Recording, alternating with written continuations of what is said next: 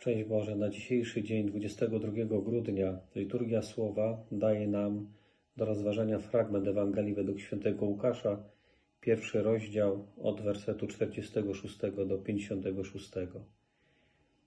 Wielbi dusza moja Pana i raduje się duch mój w Bogu Zbawicielu moim, bo wejrzą na uniżenie swojej służebnicy.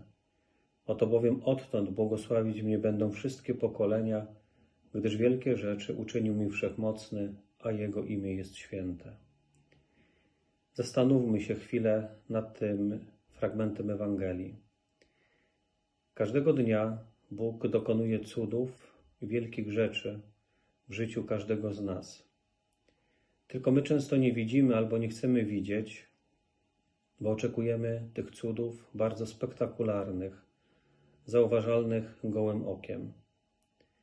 Bóg dał nam wspaniałych rodziców, przyjaciół, miejsce, gdzie możemy mieszkać i pożywienie, abyśmy nie opadli z sił.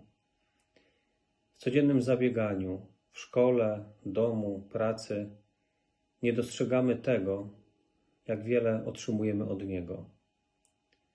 Bo Bóg wie, co dla nas jest dobre i często po cichu prowadzi nas przez całe życie.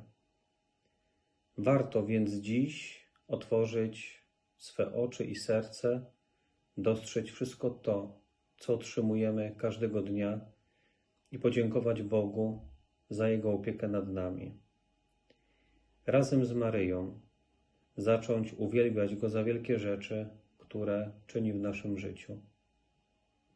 Zadaj sobie pytanie: czy Twoja dusza i serce wielbią Pana?